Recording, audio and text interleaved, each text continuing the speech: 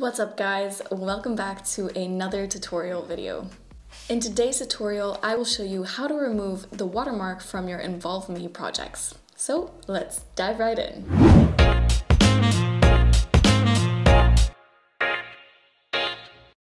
First, you will need to log into your Involve Me account and then on your projects page, just click on the downward arrow on any of your projects and select settings.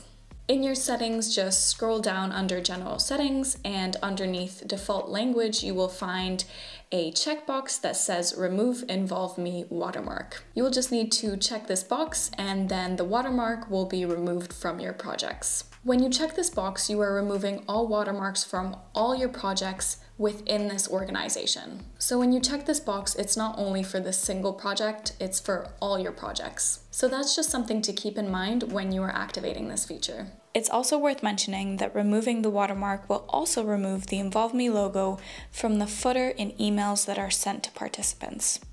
However, it will not remove it from self-notification emails. Another thing to keep in mind is that this feature is only available on the professional plan and upwards. But as always, I will have a discount code linked in the description below where you can get two months for free on any of the paid plans. So if you want to try out this feature, go use the discount code.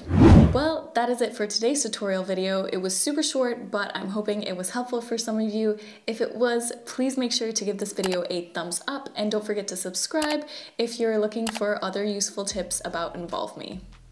Thanks for watching. Bye.